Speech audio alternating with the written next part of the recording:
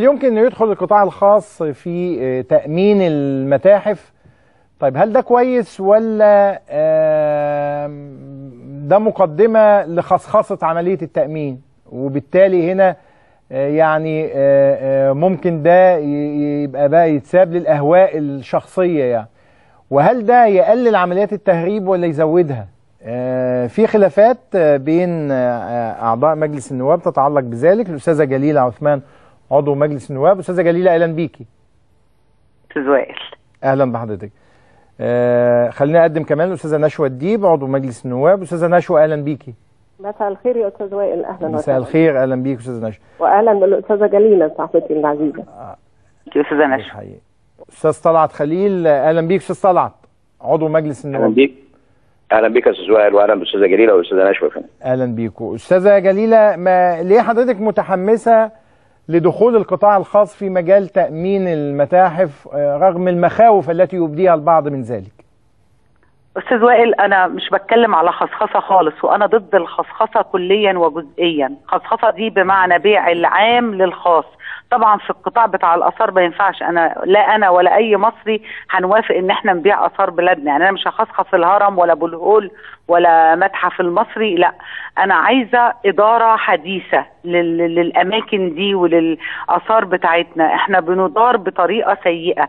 أنا عايزة آه، سواء في شكل شركة في سواء آه، يعني تكلها عملية الإدارة بكل وظائف الإدارة من تخطيط ورقابة ومتابعة وتنمية كفاءات وتنمية مهارات وتدريب إحنا بنفتقد لده في الإدارة الحكومية عندنا في مصر. فبالتالي أنا عايزة أستعين بإدارة خارجية الإدارة إدارة فقط وليست بيع ولا شراء ولا أي حاجة من الحاجات دي خالص. آه يع- يعني هي هي هي إدارة تدير ال- المتاحف ولا تدير كل الآثار؟ لا ما على ال- الآثار اللي أنا مش قادرة اديرها وأنا أغلبية الآثار اللي عندي مش عارفة اديرها النهارده الوزير بيعرض بيقول أنا عندي 33 ألف قطعة مفقودة ما بين مسروقة وبين مهربة فأنا آه. هستنى لغاية لما كل آثار البلد تفنى بالشكل ده آثارنا بقت في كل دول العالم مش عارفين نسترجع ولا ما جايز. بعد دخول إدارات خاصة 33 ألف دول يبقوا 100 100 لا ألف قطعة الإدارة الإدارة الخاصة بدون رقابة مش هتنفع. ما أنا لازم برضو يبقى في عيني على الإدارة اللي بتشتغل.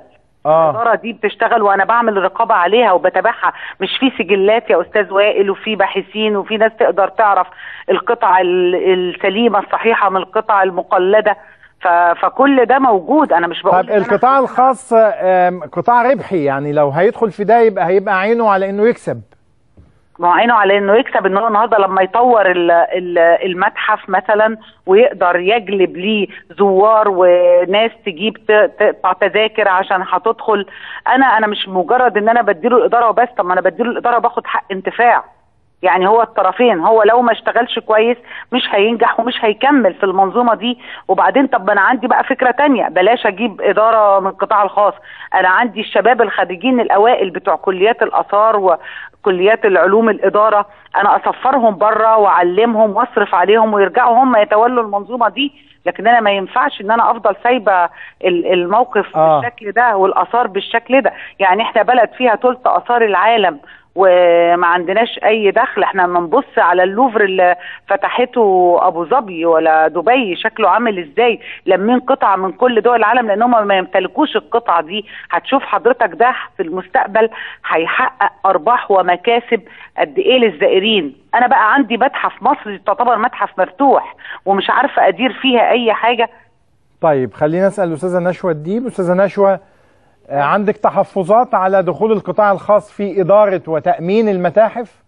طبعا آه، بكل تأكيد عندي تحفظات وارفضه رفضا تاما لأن الآثار آه، هي ملك الدولة مش ملك بني آدم ولا ملك حتى الوزارة بس. آه، هي ملك و- ودي أمانة أمانة من اجدادنا إن إحنا نحافظ عليها.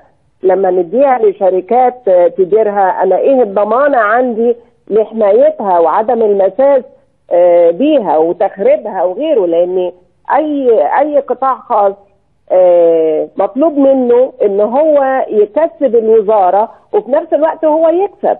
يعني عينه كلها تكون على المكسب بدرجة آه، أولى وأخيرة.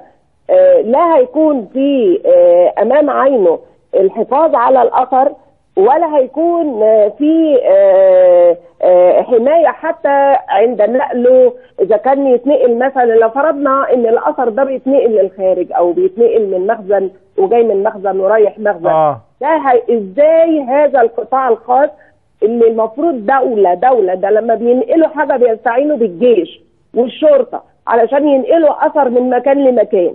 إيه، إزاي قطاع خاص هيقدر يحمي هذه الآثار إيه، إزاي هيكون عينه على الأثر وحمايته دون تخريب؟ وأنا للأسف الشديد أتصور وأتأكد و و وكلنا نتأكد إن هيكون عينه اولا وأخيرا على الفلوس اللي جاية من هذا. آه أنت خايفة كمان إنه ممكن ي- يعمل تقليد لقطع ويضعها مكان قطع أصلية و... ليه لا ليه لا يا فندم؟ ليه لا؟ ما هي الأستاذة جليلة بتقول في يعني ضوابط وقع- رقابة. مهما كانت من من ضوابط رقابه ده هيكون بين ايديه يقدر يتصرف فيه كيفما يشاء. وبالتالي إحنا هنا بدل ما بنحافظ على آثارنا إحنا بنفتح الطريق لتهريبها والعبث بيها وغيره. وأنا بتصور يعني بسأل سؤال إزاي الحكومة مش قادرة تدير ممتلكات الدولة؟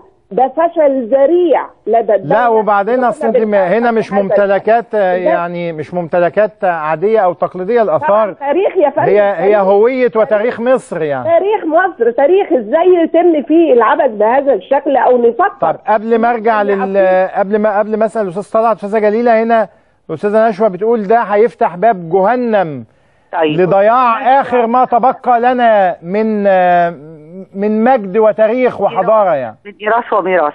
حضرتك أستاذة نشوى أكدت على إن في فشل ذريع في منظومة الإدارة في ملف الآثار. صح؟ طيب. النهارده بقى أنا هفضل مستمرة بقى في الفشل ده. يعني أنا مش عايزة بقى أفكر خارج الصندوق أو إن أنا أجيب فكر جديد. وبعدين يا فندم هي كل الأماكن دي ما هي فيها موظفين الدولة. يعني أنا بس مجرد إن أنا بجيب إدارة خارجية تتولى الإدارة مع احتفاظي بكافة حقوقي كوزارة الآثار أو المجلس الأعلى للآثار في إن أنا أراقب وأتابع وأعمل تفتيش دوري ويعني الشركة مجرد إنها بس. آه. طيب لغاية ما ترجع لنا تاني الاستاذ جليل. الاستاذ طلعت خليل آه، آه، آه، متحمس لدخول القطاع الخاص آه، لإحياء آه، متاحفنا وإحياء ال- آه، عملية إدارة الآثار ولا آه، عندك مخاوف الأستاذة نشوى الديب؟ والله لا أنا عندي المخاوف. أنا طبعا أنا ليبرالي بطبعي ومتحمس للقطاع الخاص. أنا بشكل عام متحمس للقطاع الخاص. آه. أنا أنا بتكلم في حاجة أنا مش فاهمها. يعني أنا سمعت تصريح الوزير بيقول إيه؟ إنه هو طالب شركات لإدارة المتاحف. طيب أنا النهارده الأزمة عندي في إدارة المتاحف في إيه؟ الأزمة عندي اولا أنت عندكش جلب للسياح. نتكلم النهارده مين الزائر الرئيسي للمتاحف؟ هو السائح.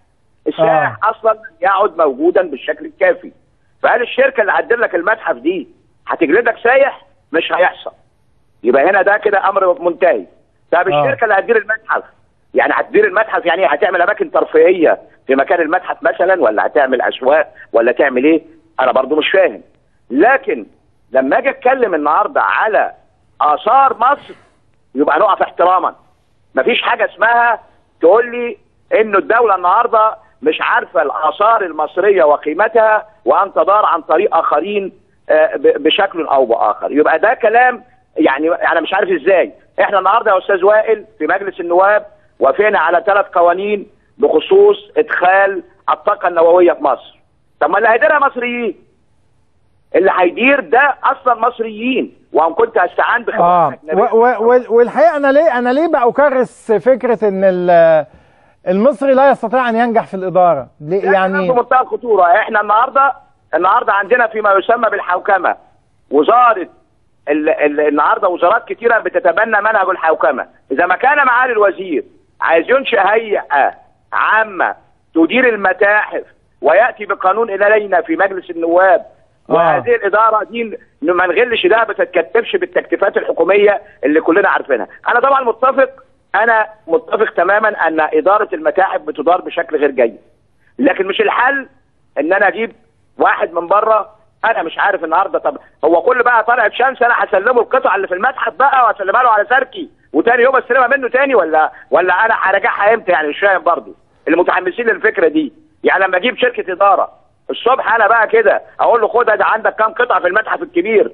واخر النهار سلمهم لي. لا هو مش محل بقالة يا أستاذ طلعت يعني مش كلام كلام غير يعني مش مديله كام قطعة صابون ولا كام ب- مش محل. بقالة يبقى ده يعني. كلام يا أستاذ وائل غير منطقي.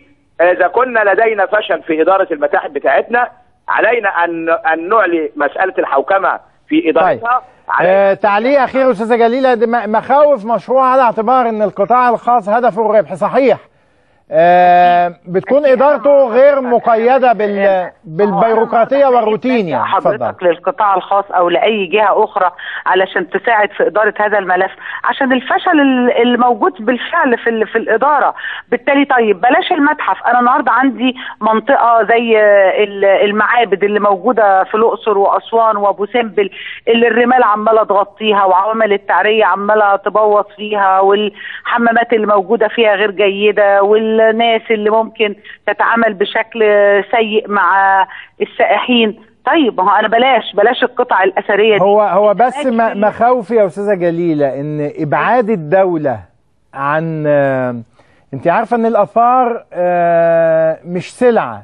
وتعلمين إن الآثار طبعاً، طبعاً. هي هوية وتاريخ وحضارة مصر.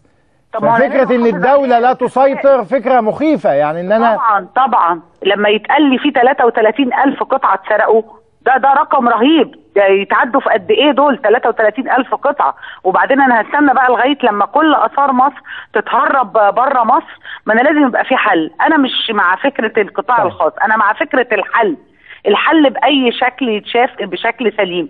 في مخاوف من القطاع خلاص. يبقى أنا كل- كلنا مع الحل.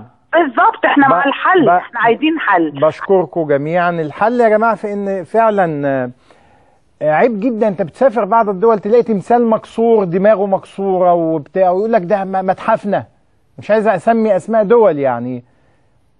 والله تماثيلهم آه، بتضحك عليها وأنت بتشوفها. أنت هنا بتشوف آه، ما بين تلت لتلتين آثار العالم يعني. وآثار متنوعة آه، ومختلفة يعني. لكن مع ذلك آه، عندنا هذا الفشل الكبير في تنظيمها وإدارة. شوفوا حتى المناطق الأثرية عندهم بيعملوا فيها إيه؟ بيحولوها إزاي آه، لواحة للسياح وبينشئوا حواليها كمان إزاي مراكز تجارية عشان يبقى فيه بيع وشراء بالقرب من هذا المكان دون التأثير على الأثر يعني. إنما عندنا إحنا بنغتال تاريخنا وحضارتنا وبنغتال الجمال آه، إحنا دايما آه، عندنا هذه المهارة دايما في اغتيال كل ما يتعلق بما هو جميل آه، في مصر كمان بالحضارة وبالتاريخ. نشوف حل تاني الق- القطاع الخاص تخوف إن دخوله يعني ناس عايزة تكسب. ما هو تاجر في النهاية. آه، لازم أبعد الآثار عن آه، قضية ال- التاجر واللي عاوز يكسب.